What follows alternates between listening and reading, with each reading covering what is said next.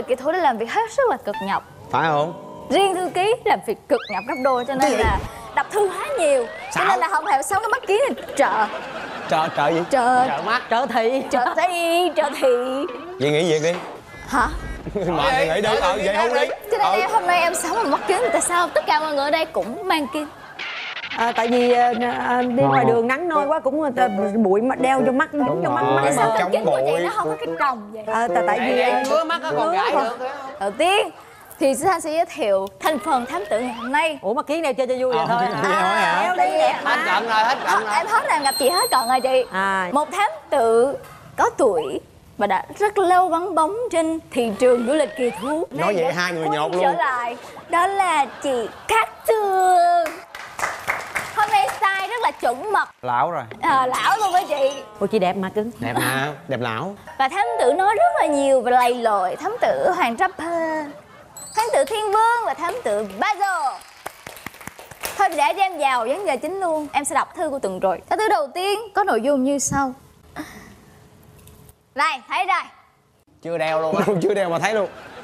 Chào các thám tử chương trình du lịch kỳ thú. Em tên là Lộc Năm nay em 19 tuổi. Em có nghe nói về một người đàn ông sống du một giữa lòng thành phố. Ông chuyên chăn trâu bò và ngủ ngoài láng trại của công nhân xây dựng gần đó. Em không biết thực hư thế nào nên muốn thám tử Thiên Vương cùng đi tìm hiểu với em được không ạ? mà đâu mà đâu Mệt, em cảm thấy mệt, bây giờ mắt em nổi đom đóm Thiên Vương cho thư ký đi làm ở ngoài đường đi cho biết mùi mệt là như thế nào. Ờ, anh nghĩ nó ngồi đây đọc không mệt hả? bây giờ lên chưa? Lên Trời ơi, ngộ quá à. Quý vị khán giả thấy bất công cho các tường dễ sợ luôn. Một người phụ nữ dễ thương, sẵn sàng lăn xả ở ngoài cuộc sống Sẵn sàng ngồi trong máy lạnh để mà làm mà thư ký thì không được cho làm Trong khi cổ được ngồi im trong diêm trong mát. Mà cổ cứ than hoài Bây giờ cho tôi ngồi đó tôi cũng ngồi Bây giờ cho tôi đi tôi cũng đi nữa. À không tại ban giám đốc có quy định số tuổi chị. Dạ thông cảm đi. Kiểu người ta sợ chị ra ngoài đường mưa gió. Đúng chị rồi. đi, mời anh Thiên Dương Dạ, hôm nay là em đi à, thăm một người à, đàn ông cũng đã luống tuổi, có một sở thích rất là lạ và đó là một thu nhập chính của của ông. Chúng ta sẽ xem clip nhé. Hiện tại thì thám tử Thiên Vương cùng với bạn Lộc đây, người gửi thư đến chương trình à, đi tới tìm à, anh Tơi. À, Dạ. à, chào Xin chào Hai anh chú. Tơi. Anh đã làm cái nghề này bao nhiêu lâu rồi ạ? Cái này là nghề hả? Từ năm 2004 Nghề. tới giờ. du mục lại là nghề không chăn trâu chăn bò theo nghề đó Nhưng mà hàng ngày Anh sẽ giải thích chẳng tại sao. Như anh anh chăn dắt bò mà ở nhiều nơi, chỗ nào có cỏ là anh đi tới đúng không ạ? vâng vâng ngày trước là bốc xếp là bắt đầu chuyện nuôi bò lâu đấy chứ từ thời đó anh nuôi nhưng mà nhưng mà một cái nguyên do hay là một cái nguyên nhân nào đó mà anh lại chuyển sang cái nghề nuôi nuôi bò thì Anh thích nó hay sao thì yêu thích nghề vậy một người một nghề vậy cùng khổ cũng đi cả đêm cả hôm khổ lắm.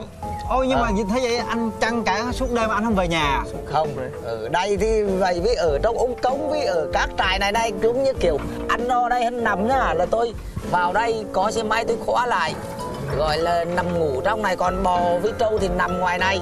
Đó. Ồ vậy hả? Có, Ừ. có nghĩa là anh không có về nhà? Không lâu lâu cũng về nhà thăm vợ con chứ. Hả? Có vợ con luôn hả? có vợ con. vợ con anh có nói gì không ạ có vợ con bảo nói về nhà mà nghỉ chứ đừng cứ đi trâu bò vất vả. Dạ. mà tôi yêu nghề thích một cái công việc hàng ngày của anh như thế nào từ sáng tới tối ạ? Này từ sáng đến tối nha.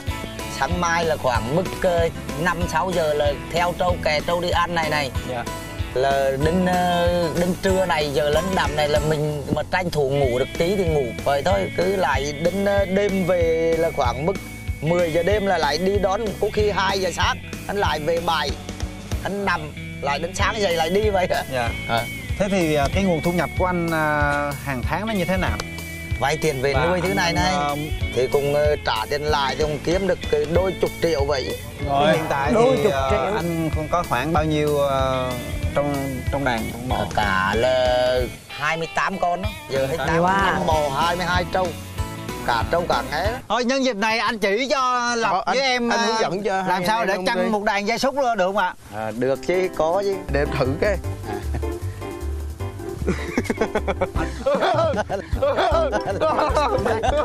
Gì vậy? Anh Nhật Minh rồi Ủa ở đây cũng rộng hơn Ha, nó đang tắm kìa. Ờ. Lộc. Ây da nằm đó mình chỉ cho nó ăn cỏ đây thôi Vâng, chứ vâng. không có cho một thêm một cái Không, không. chẳng hạn như là À, không, thức ăn gia súc này nọ không không không mua đâu. Đây cỏ đầy cỏ nhiều mà mình đi bứt cho nó ăn. Chú đi có đó. Cái là anh chạy theo được đó. À Ừ. để, để, để con Ừ. làm. Chú ờ, chú hui hui giống như thế này là lên đó lấy lấy hòn đất sẵn. Đó đó. Đó anh dậy hết rồi có bên, bên kẻ nhà bếp cô không? Kêu qua cho bãi ờ, cho vô cái bãi nằm đây được rồi. À, rồi đó. Qua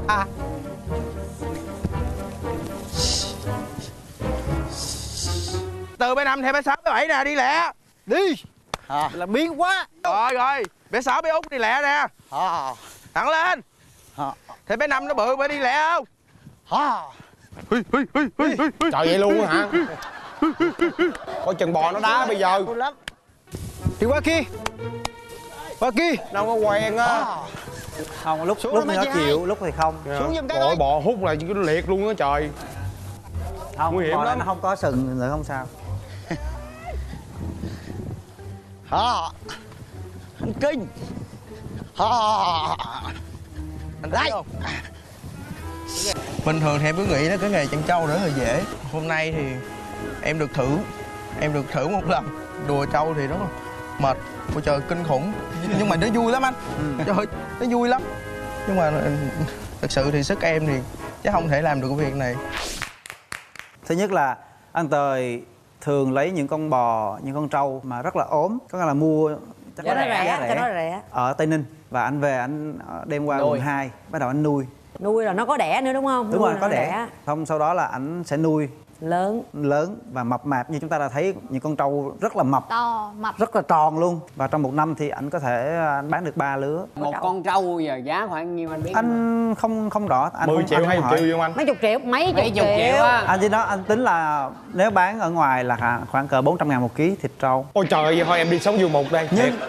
nhưng anh bán cái với giá chỉ có một phần ba thôi rồi người ta bán là cho mình. À. đúng rồi. Trong một năm anh có thể anh kiếm được khoảng cỡ năm 50 triệu 5 tới 70 triệu. Sao không hỏi ảnh là mai mốt có ai nối nghiệp ảnh không? Chắc không ai đâu. Gửi uh, hoàng rapper đi theo để nó nối nghề ảnh nó muốn đi canh trâu đêm đêm về hoàng coi như đọc rap cho các trâu bò nghe. Là kích ứng Ờ, lỗ ta có câu là tai đàn gãy là tay trâu đó. Thôi được rồi cảm ơn thiên vương. rồi về chỗ đi thiên vương. Và sau đây sẽ là bức thư thứ hai. Đây mất ký đâu mà vẫn đọc không ra chữ ta. Ờ Khổ để đó, em nó tật lưỡi? Ơi gửi những thám tử vui nhộn. Em rất thích đọc truyện và xem phim kiếm hiệp đặc biệt là những nhân vật kiểu như kiếm sĩ mù võ sĩ không tay võ sư một chân. Hồi nhỏ, mọi người nói với em rằng đây là những nhân vật không có thật. Dù vậy em vẫn mê phim kiếm hiệp lắm. Nhưng mà gần đây em nghe nói rằng võ sư một chân là có thật. Mong các thám tử giúp em tìm võ sư này cậu bé 30 Rồi bây giờ chúng ta sẽ đến chương chuyến hành trình thứ hai của anh Hoàng Rapper Xin mời anh Hoàng Rapper để có thể giúp cho bạn khán giả chúng ta hiểu được những võ sĩ đạo ngày xưa Có thể là trong truyền thuyết hoặc là có thể trong là một câu chuyện thật. Tại sao họ khiếm khuyết những bộ phận trên cơ thể mà vẫn có thể đắc đạo và võ công thâm hậu đến như vậy? Và tôi đã nhờ đến sự giúp đỡ của chị Cát Tường. Đó. Với những thông tin mà chị đã cung cấp Với một võ sư đã từng tham gia chương trình Bạn có thực tài. Thôi cũng được. Cũng là ờ, biết tôn sư trọng đạo. Ít ra em nó cũng nhắc đến tên của cái người đã hướng dẫn em đó cho nó Đa nhanh tạ chị, đa tạ chị. Bởi Đa vì em. cứ hỏi đến những võ sư già Hãy hỏi những người già. Chúng ta sẽ có được những thông tin cụ thể nhất. Và đó chính là một võ sư tên là Tạ Anh Dũng. Vì với nghị lực phi thường và những đường quyền cực kỳ mạnh mẽ cái môn phái là môn phái tên gì anh biết không? Môn phái kim kê tây sơn nhạn. À, hên quá. Đố ba xô Võ sư Tạ Anh. Dũng thiếu mất bộ phận nào trên cơ thể? Em nghĩ là thì võ sư một chân thì mất một chân chứ. Mệt đó đúng không? Người Mình ta nói là đọc có thư một là chân chưa? võ sư một chân mà. Nãy giờ tư đọc nó đọc võ sư câu đó đi. Tôi sai rồi. Xin mời tất cả mọi người coi clip. Thôi bỏ đi. Thấy chưa? quay quay. Chưa? Sao không tăng tốc độ lên Nào hãy tăng tốc độ lên để những đường quyền của tôi uyển chuyển hơn nào. Rồi võ sư Nhanh đầu lên. Dạ, Đúng rồi, đầu cha. thành cục đầu luôn. Cao lắm ba. Thiệt? Gỗ cưng lắm. Biết mà. Xin chào các chư vị. Và Chư vị. hiện tại Để tìm ra một cao nhân về võ thuật Tôi, Hoài Rapper Đã phải tìm đến một trong những trung tâm thể dục thể thao lớn nhất của thành phố Hồ Chí Minh đó chính là công viên Tà Đàn tại vì nơi đây tập trung rất nhiều vị cao niên đến đây để có thể rèn luyện tập thể dục thể thao. Cho con hỏi ở khu vực mình á có một chú nào đó cũng hay tập luyện võ công ở đây nè cô? Mà chú đó bị thiếu mất một chân á cô biết không? Đâu ạ?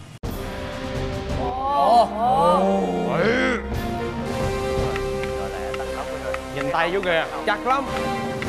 Trời ơi cơ rồi đây là học trò của chú. Dạ con xin chào chú ạ. Dạ. À, bữa nay ờ, chú nhận con làm đệ tử được ngày được không chú? Sẵn sàng thôi tại vì tôi là người đi truyền bá võ học của Việt Nam mà. À dạ. Như vậy thì cho con hỏi là cái môn võ của mình tên gì ạ? Võ của mình ngày xưa gọi là võ ta. Nhưng mà bây giờ tất cả các môn phái à, gộp lại thống nhất lại đặt là võ cổ truyền Việt Nam. Võ cổ truyền việt nam. Cái roi của Việt Nam mình thì cũng vậy cái phần này là tay âm dương. Âm dương. Âm dương là phần này là phần đốc. Dạ. Phần này là phần ngọn. Dạ. Đúng không? Dạ. Mình đánh thấy thấy dài và đánh thường thường là ở ngoài là người ta đánh người ta đập như vậy. Hoặc là đánh vậy còn mình thì không. Có những đòn đó nhưng mà thực tế là những cái đòn giả đòn ảo để mình vô vô để nhập. Thí dụ bây giờ hoàng đánh vô đầu thầy. Những cái môn khác là nó như vậy. Dạ. Còn không của mình là khác à nha. À. Của mình là khác thí dụ thủ bộ thanh long dĩ địa hoàng đánh vô đầu thầy. Thầy sẽ qua bên này. À qua không trước mía nè. Qua rồi xong phim Rồi, luôn. cái thứ hai.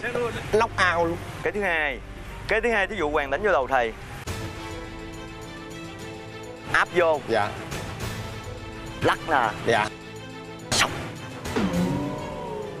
rồi mất kiến luôn. Đó, rồi rồi này chính xác là rồi của tây sơn. Dạ cái này là xỉu luôn á thầy. À. động tác phải rất là nhanh á. Nãy giờ thầy đang slow motion không phải nhanh hiểu. đâu tại vì cái đường roi của việt nam mình rất là quyền bí. Dạ. Thầy ơi à, thông thường thầy tập luyện có gặp trời mưa lớn vậy không thầy? Có có chứ. Mà thầy cũng vượt qua luôn. Cứ tập cho đúng lịch của mình. Đúng là tinh thần nhạc bỏ có khác. Nhưng mà giờ con với thầy vô mình tâm sự một xíu được không thầy? Rồi. Dạ mình kiếm chỗ nào mát mát mình ngồi tâm sự tí chứ tôi sợ à, trúng không gió sợ lắm. mưa mà. Mưa hả? Cái hàng đi á, hả? sợ mưa. 4 tuổi là là là là, là, là đánh đánh võ đi quyền rồi tại vì ờ, cha của tôi thương sinh tôi ngày xưa là võ sĩ mà thời pháp thuộc anh đã đánh võ đài rồi. Nhưng mà cha không có dạy đánh võ đài chỉ dạy đứng tấn đi quyền thôi. Vậy Rồi. sao mà thầy bị ờ, chấn thương chân của thầy vậy? đó là bị tai nạn giao thông đường thủy. Bị tai nạn đưa về bệnh viện chợ rẫy thì ờ, nói chung là cũng sốc lắm đau buồn. Cũng nghĩ là tại sao mình là một con người chạy nhảy à, con người rất là năng động. Dạ. nhưng mà bây giờ bị như vậy thì làm như là mình bị cái cái một cái cảm giác rất là hụt hẫng sau là nằm đêm thì à, một hai đêm sốc. Nhìn rồi xung quanh rồi có người ta nằm bệnh viện. Sáng hôm sau có cô bé đó cũng bị cưa cũng chân nhảy lầu. Không nhảy lầu. Đêm đó mình cứ nghĩ à, bây giờ chẳng lẽ mình phải phải giống như người ta vậy sao mình là một, một người năng động mà bây giờ chỉ, chỉ có như vậy mình đầu hàng hả? Dạ. rồi mình cứ suy nghĩ mình nhìn thẳng vô cái cái số phận mình bắt đầu phải tập luyện trở lại tập đạp xe đạp tập bơi lội tập wow. bóng vàng tập các cái rồi tập võ trở lại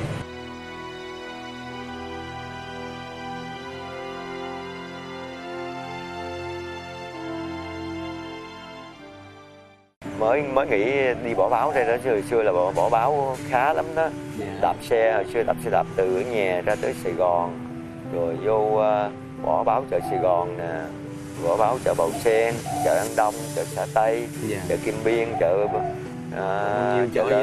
à, một ngày hồi đó một ngày sáng sớm 4 giờ mấy là đi giao báo giao báo tới 11 12 giờ trưa Thầy nhà thầy ở đâu lúc đó? Nhà thầy ở đâu? nhà ở quận 8 sáng sớm đạp xe ra Lý Chính Thắng lấy báo tuổi trẻ Đạp xe mà lúc đó là đạp, thầy đạp xe đạp thồ đạp bằng một chân không à một chân. Thầy rất là nghị lực và đem Đó, lại đó rất nhiều là- cảm hứng cho tất cả mọi người còn lại. cái đó là vấn đề rất là bình thường thôi tại vì bây giờ thì nói quá thì không không thể là một thần tượng quá hay không thể đưa lên quá nhưng mà tất cả mọi người ai cũng như ai nếu mình có chăm chỉ cố gắng Dạ. vượt vượt lên được chính bản thân mình thôi chứ cũng chẳng có gì gọi là hay ho hết thì trong mỗi một con người cái khả năng con người là vô hạn vô biên. Người ta biết đánh thức nó hay không thôi. Đừng bao giờ mà tự ti hay mặc cảm mình nhốt mình trong một cái khuôn khổ trong một giới hạn nào đó thì mình không còn khám phá được chính bản thân mình. Anh không đi. Cái thăng bằng với quá đi, quá tốt. Chú đi bác không đi. Tại không đi sao biết mình làm không được? Người bình thường. Tại vì họ nghĩ là hai giờ rồi tôi một giờ làm rất là hay không hay ho gì hết. Nếu họ nằm vào cái hoàn cảnh mình mà họ muốn vượt qua họ vẫn làm được. Chứ chẳng gì hay quan trọng là ý chí nghị lực. Tôi hay chửi bản thân tự hành hạ bản thân. Tại sao mình làm không được? Có nhục quá không dụng thì sẽ làm được. Ờ, với độ tuổi này thì à, nếu cho thầy một điều ước ấy, thì sẽ, thì thầy sẽ ước điều gì ạ? nếu mà có có cái ước vọng chung á võ cổ truyền mình phát triển ra năm châu bốn biển thì võ cổ truyền rất hay Dạ. rất là thâm thúy. Tại vì cái võ dân tộc Việt Nam mình đó cha ông mình tất cả những đòn thế tổ tiên cha mình để lại trả giá bằng xương máu bằng xương bằng máu bằng mồ hôi bây giờ có những cái tuyệt kỹ đó có những cái ngọn giáo đường thương nó rất hay tại sao mình không tập để mình giữ gìn vì lịch, lịch sử văn hóa được bốn ngàn năm giữ nước của mình đó thì nó rất nhất hay. quá ha. nếu mà, mà càng học thì mình càng quý càng trân trọng Wow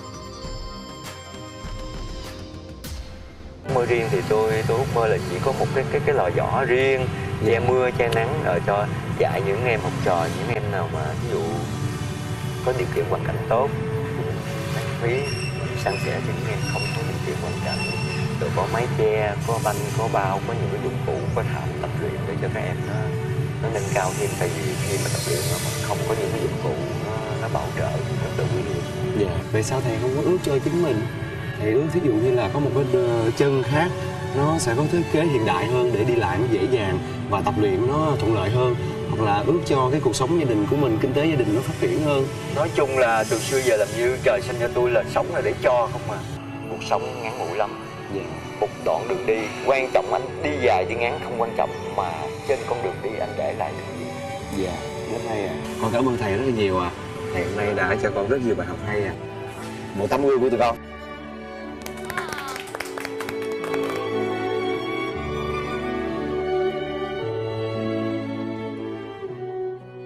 Rất tự hào khi có được những người võ sư như vậy rất là xúc động mặc dù là đã gặp thầy được lần này lần thứ hai là ba thấy rất đã xúc động à? gì ba Dô chuyện gì nói nghe coi em coi cái clip thật sự bản thân em em rất là hay dễ xúc động bởi những ờ, những ờ, nhân vật có khiếm khuyết mà họ vượt khó đó là lý Ừ. do mà tôi rất là là là xúc động khi mà xem cũng có ờ, giống như là thầy. chị Hồng Cũng nói giống như chị, hay chị quá. Hồng mà Paragame thì ờ, cái sự nỗ lực và cái ý chí tinh thần nó là cái quyết định.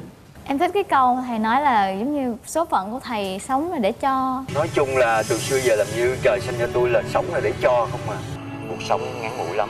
Dạ một đoạn đường đi quan trọng anh đi dài đi ngắn không quan trọng mà trên con đường đi anh để lại được gì?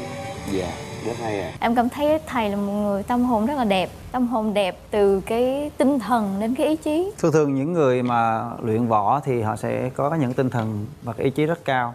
Hầu như là họ khi mà luyện tập thì tới một mức nào đó thì họ sẽ cảm giác là mình phải có một cái gì đó để truyền lại cho cho đời sau. Thì đây cũng là một ý chí của của thầy khi mà vẫn muốn giữ cái cái nét à, những cái bài võ cổ truyền. Gặp như ba với là anh Thiên Vương đi. Đứng một chân để có thể vận mỏi động chắc luôn á là mỏi Đó. chắc luôn Nhưng á mà chị thấy nhiều khi mà đứng hai chân bây giờ nhiều khi mình phải đổi qua đổi lại nè mà, mọi người biết sao không thấy rõ ràng là ờ, thầy dùng cái nạn á chỉ để đi thôi Ừ. chứ tôi thấy thầy đứng thầy toàn đứng một chân không thấy đứng không đứng đứng chân đứng múa gì đứng một chân Thầy có nghĩa là cái nạn chỉ để là đó. để bước thôi á Còn đằng này thầy còn phải sử à. dụng tất cả các các binh khí khác để có thể biểu diễn hoặc là để có thể ờ, trình bày các bài võ của mình. Mà bên cạnh đó là cái cây nạn của thầy còn nặng hơn cả các uh, Thiệt binh khí hả? nặng nặng lắm. Chi ơi. vậy chắc là để dễ trụ hơn á chị Dạ. Phải, à, Mà để tập một- tay hay sao thức nặng lắm. để luyện tập cho cái à, cái phần dưới của mình nó chắc chẳng hạn như thế này đi một, quá. một chân của chân thầy là, là nữa. bị khiếm khuyết đúng không cái cái chân đó sẽ mang nạn mà nạn đó sẽ nặng Ừ. thì đôi khi mà đứng một chân như thế này á cái sức của cái nạn này nó sẽ đè xuống Ờ. để làm cho Cân cái bằng chân lại. trụ Cân bằng cái cái chân trụ này nó sẽ vững hơn nữa gậy vỏ gậy tây sơn thì nó sẽ có bốn cái mà gọi là cơ bản bắt bắt triệt trận bốn thế cơ bản để mà đánh một bài roi. Và khi mà hai cái cây roi chạm vô mà em bị bị rớt cái tay đó là bởi vì khi mà chạm vô thì không phải là ngay cái ngay, ngay cái cốc hay cái ờ, hai cái cái tiếng binh khí nó va vào nhau mà không. Tới đó nó sẽ lăn cái roi để mà à. để gây sát thương cho đối thủ đó đúng không và nó cái điểm của roi bình định hay là bỏ gậy tây sơn đó là điểm điểm roi chứ không phải là là, là, là khi mà đánh vô ầm ầm như thế này. À. chúng ta cứ tưởng ấm ấm- đánh ầm ầm như thế này không phải họ điểm roi. Cái đầu roi mới là cái quan trọng nhất. Ồ. Ồ, quá hay. Hay quá. Thôi về đi hoàng. Cảm ơn hoàng. Quá xuất sắc. Nói chung là ngày hôm nay du lịch kỳ thú thì chúng ta cũng xem được hai nhân vật khác nhau mà em thấy chuyến đi nào cũng thú vị rất là thú vị. Hay. Bây giờ đầu tiên sẽ là chuyến đi du mục quanh thiên vương. Xin mọi người đánh giá. Một hai cuộc sống của một người du mục. Một người du mục chị tường. Cho màu đen lý do? Chị ăn chay chị không ăn thịt bò thịt trâu tại vì á, chị ờ, sống ở dưới quê chị thấy ờ, người ta chăn trâu chăn bò nhiều à nên đối với chị cũng À. không có gì lạ lẫm lắm. Đồng ý. Nhưng mà nói nói đi nói lại đi, em tuy em cho bản đỏ nhưng mà em cũng không ủng hộ cái cái cái cái kiểu cách sống của chú ấy ờ, như bây giờ trong cái cuộc sống hiện đại bây giờ. Tại vì anh chú ấy phải cách xa vợ con của mình. Đó là cái Xa điều mà mà mà hơi ờ, hơi bị ờ, làm em cũng không có chính chính xác chính xác. Nhưng mà cái đó là cái sự lựa chọn của chú. Thì đó. và ờ, cái đó là một cái cái mà chú cảm thấy nó tự tại có thể là một cái mà làm cảm thấy tinh thần riêng của chú bản thân hơn. Chú Dạ. muốn hưởng ờ, cuộc sống tự do tự tại nhưng mà bỏ Miễn lại là vợ nó con ở nhà tôi không thích. hợp tôi pháp. thích chồng vợ ở chung mà. Ví dụ như cả nhà cùng đi đó trâu cái- tôi một chịu. cái- một trong những lý do mà chị Tường cho điểm đi. Tiếp chuyến đi con hề rapper một hai ba. Chắc chắn là sẽ làm cái đỏ rồi. Kính thưa quý vị thám tử tuần này đã thuộc lên được thưởng trăm triệu kìa. Trăm triệu nhanh cảm ơn thầy. Đa tạ thầy. Huy chương này thầy thầy. Tạ anh dũng. Xin cho hề rapper một cái hot tay. Bây giờ bật và giật bật dậy khí thế của anh chưa? Tuần trước còn yếu xìu rồi bỏ rồi các thứ. Quá à, em phải chia lại một phần danh dự hôm đó nay chị. có, có bỏ nữa không? Nay chị. có bỏ không? Cảm ơn chị. Hôm nay Dạ, có bỏ cảm ơn không? thầy. hôm nay có bỏ nữa không? Tôi bỏ hết những cái ưu tư trong đầu mình rồi. À, khi gặp thầy là được. bỏ hết đúng không? Bỏ hết. Thôi được rồi, lắng nghe lá thư đầu tiên. Em chào các thám tử vui nhộn, em tên là Minh, 21 tuổi. Em là một người rất thích hội họa, nhất là thể loại tranh cát. Mấy clip tranh cát, em rất khâm phục tài hoa của các nghệ sĩ. Nên em muốn tìm hiểu xem nghệ thuật này cụ thể là như thế nào. Nếu được thì em muốn đi cùng với anh Bazu. À. nghe là biết thấy là chỉ định luôn rồi. Dạo này khán giả chỉ định thánh tử luôn mới ghê. Dạ này được khán giả mà chị mình phải làm vừa làm cách đến vừa làm này cách tụi đi này chứ nó bỏ chị. tiền nó mời fan gì ở thơ làm khán giả quá à. chắc tôi phải kêu fan của tôi viết thơ để ờ, tôi được đi quá. Mời cô lên Chị vậy. cứ về gì đâu Được chị ơi, được. fan cát tường đâu rồi? Im nhớ gửi thư đến chương trình và để tên cát tường. Các bạn ngủ hết rồi đúng không nào Rồi sau đây là lá thư thứ hai Hy vọng sẽ được giao cho chị Cát Tường. Chào chương trình du lịch kỳ thú Em tên là Phong, hiện là sinh viên. Em đọc thấy trên mạng có một cụ bà hàng ngày Phải xách cả trăm ký đồ gốm Từ Bình Dương lên. Sài Gòn để bán Nuôi con và cháu bị bệnh. Không biết thực hư là thế nào Bản thân em hơi ốm yếu Nên em muốn nhờ một thám tử có sức khỏe Như Hoàng Rapper Ôi, cái gì vậy? bà bán hàng một ngày. người rồi. Em thề luôn là em không có mua fan nha em thề. Em cũng không có mua em thề. Em thề. Thôi được rồi mấy đứa đi đi chị ngồi đây bình loạn cũng được Cuối cùng thì hôm nay à, các khán giả cũng rất rất hiểu lòng sĩ Thanh. Mỗi lần phân à, chia nhiệm vụ thám tử ai cũng đùng đẩy mệt mỏi Cho nên bây giờ người ta đã ấn định sẵn luôn Bazo và anh Hoàng Rapper ủa vậy là phải phải phải hạ lương của sĩ thanh chứ ta? Đúng rồi. Ngồi bớt làm gì bớt lại. đi. đúng rồi anh em ta rồi. đi ngoài nắng mục gió. Thế giới 2017 tốt đẹp hạ lương Thủy Thanh